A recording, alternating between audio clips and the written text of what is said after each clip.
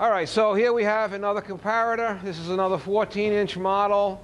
Uh, this is a Starrett. Uh, this is a Sigma HB 400. And you know Starrett is uh, known for precision and precision measurement, so it extends now to their line of profile projectors. Uh, so what can I tell you about this? It has a 10x lens on there right now. It has a protractor ring with a, with a digital readout for minutes and seconds degrees.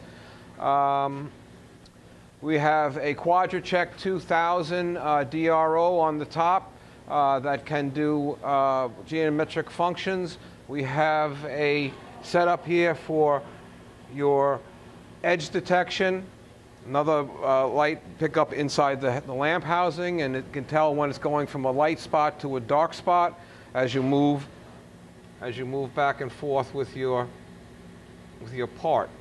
Uh, and it stores that once you familiarize yourself with, using this. So that's a very nice option to have.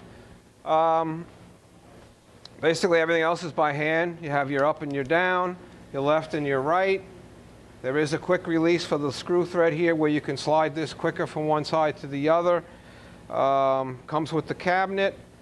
Uh, there is a couple of uh, pieces that go on the table here, a little vise, a little uh, pro, um, protractor vise, whatever you want to call it. We'll have pictures of that for, in the pictures. And uh, what else? This uh, is just 110 volts. It plugs in the wall. And uh, it's got a very bright, very nice image on here. I like it.